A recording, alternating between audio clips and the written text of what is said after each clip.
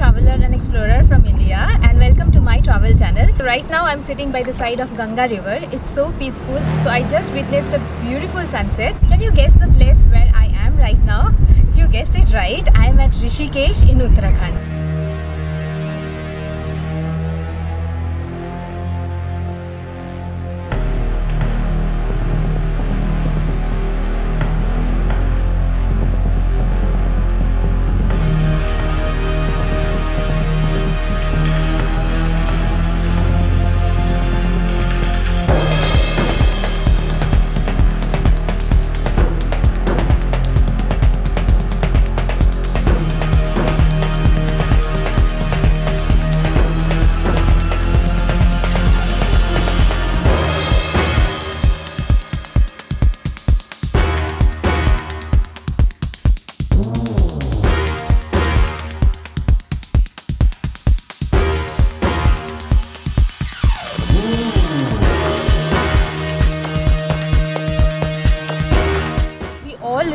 Rishikesh, which is a place close to Haridwar. So it is known as a pilgrimage town and is considered to be one of the holiest places for the Hindus. So there are a number of temples and yoga ashramas in Rishikesh. They are practicing yoga and meditation. So if you do not know, Rishikesh is also the beginning point of the famous Char Dham Yatra of the Hindus. The Char Dham includes Gangotri, Yamunotri, Kedarnath and Badrinath. And in this video, I am going to tell you top 10 things to do while in Rishikesh.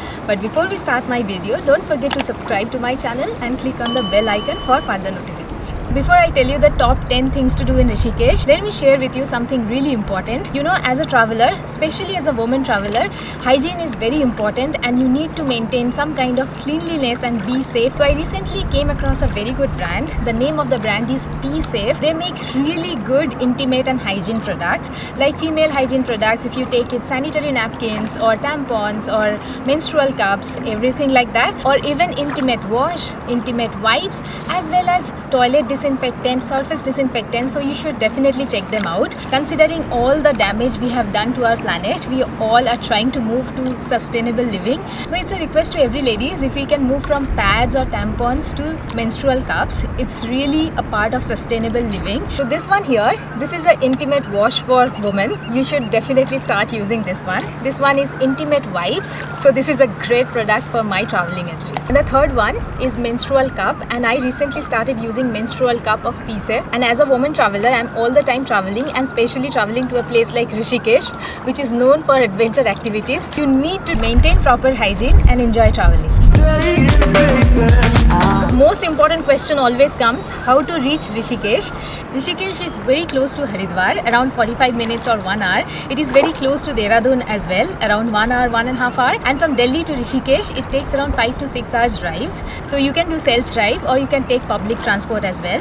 There is an airport which is Jolly Grant Airport, which is also called Dehradun Airport, but it is in between Rishikesh and Dehradun. So it's very close to Rishikesh. You can take that one as well. So Rishikesh is not only a holy place, it is also famous for adventure activities, especially rafting. People do come here and enjoy great rafting in River Ganga. It is also famous for bungee jumping, zip line, paragliding, etc. So if you're not that adventurous, take a holy dip in Ganga River and enjoy your moments. There are a lot of stay options in Rishikesh and especially being a holy place as well as a place known for rafting, the ashrams, guest houses, yoga centers, hostels, camps also provide budget stays. The most popular places to stay are the adjoining areas of Lakshman Jhula. If you wish to stay a little far from the crowd and in a peaceful place, you can check out Shantivan Inn where we stayed and had a great time. And if you choose to stay around Shivpuri area, Mysa Resort is definitely a good stay option. So the top 10 things to do in Rishikesh in my experience. So the number one, Lakshman Jhula, that is the center point of Rishikesh. So there are many temples, guest houses, ashrams, cafes, shopping options. There are a lot of activities going on around the Lakshman Jhula area. It is not really a jhula, it is actually a bridge, but because of the vibration or the swinging, it is often called as Lakshman Jhula. Number two, holy deep in Ganga river. Ganga is not only a river, it is our mother. We Hindus, we worship it. But even if you belong to any other religion or any other country, you would definitely have a good time in Rishikesh. Ganga here is really peaceful. There is so much spirituality around. There is so much calmness. There is so much serenity and so much beauty all around that you won't be able to resist yourself from going to the Ganga river and take the holy day. Number three, Ramjhula and nearby places. So you should definitely cross Ramjhula on foot or you can walk down from Ramjhula to Lakshman Jhula. So there are multiple ghats and there are temples around the Ramjhula area. Also there are a lot of shopping options around the Ramjhula and Lakshman Jhula area as well. And there is a famous restaurant, its name is Chotiwala. You should definitely try out food in Chotiwala as well. There is a place called Muni Ki Reti and you can see the different yoga ashrams and meditation centers. Number four, you should definitely enjoy the Riverside Cafe experience and try out the wonderful food. And my recommendations would be to try out Israeli food for sure. You don't get non-vegetarian food in Rishikesh and a non-vegetarian person like me had a great time enjoying all the good food in Rishikesh. And if I have to take the names of few cafes, it would be Ganga View Cafe, Ganga Beach Cafe, Royal Cafe, Little Buddha Cafe, Beatles Cafe. There are a lot of other options and I'm always happy when the food is good and you get the best fresh juice in Rishikesh, I guess. So number five is Rajaji National Park. So it has one entrance from Rishikesh. You can definitely plan to drive through Rajaji National Park and you can book your safari as well if you are a forest and jungle person. By the way, there are jungle resorts also where you can choose to stay. It's very nearby to Rishikesh and a perfect experience. Point number six, Beatles Ashram, the famous English rock band. Beatles, they visited Rishikesh. Do you know that? So there is a ashram which is very close to Ramjhula and opposite to Muni Ki Reti. You should definitely check out that place. Point number seven, it's Neer waterfall. Again, you cannot miss going to the waterfalls whenever you are visiting any place. So it gets little crowded if you are not visiting in the early morning, but it should be in your itinerary if you are planning to visit Rishikesh. Point number eight, explore Shivpuri in Rishikesh where majority of the campsites are there and majority of the rafting starts from Shivpuri only. There are few white sand beaches which are really interesting in Rishikesh and also if you are looking for non-vegetarian food or alcohol you do get it in Shivpuri. Point number 9 camping and rafting in Rishikesh. This is the most important point. I don't know why I have kept as the point number 8 but whenever you are visiting Rishikesh you would feel the vibe and energy all the enthusiastic people going for rafting and they are so happy they are so excited about it and in the Ganga river also you will find a lot of rafts and people doing rafting and following the rafting a must stay in the campsites where all the people you made friends with they would be together in the same camps be cherishing and hoo hoo about your adventure activity and the 10th point is experiencing the Maha Aarti in Triveni Ghat. It is a very religious and holy place. You should definitely visit the place in the morning or in the evening time to check out the Aarti and experience the same.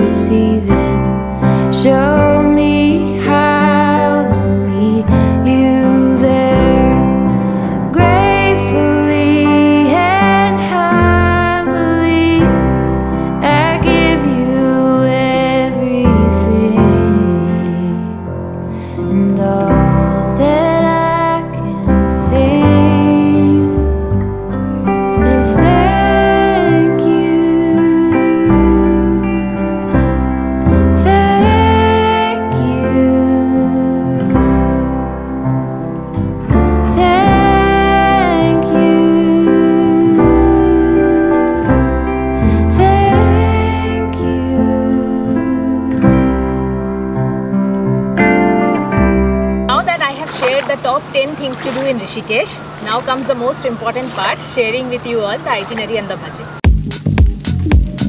And here I am sharing with you 4 days, 3 nights itinerary for a short Rishikesh trip. So this is the budget breakup for the itinerary that we shared. For a couple, you can spend around 10 to 15,000 roughly for a return trip from Dehradun. Finally, to the end of this video, I'm really happy that I visited Rishikesh. It calmed me down and I'm feeling so so good. Finally, we have come to the end of this video. Guys, please share your suggestions as well. The best things to do in Rishikesh in the comment section below. We would love to know that. I am definitely coming back to Rishikesh and let me know if you are planning to do the same. Rishikesh is not only for the religious people but it is for everyone.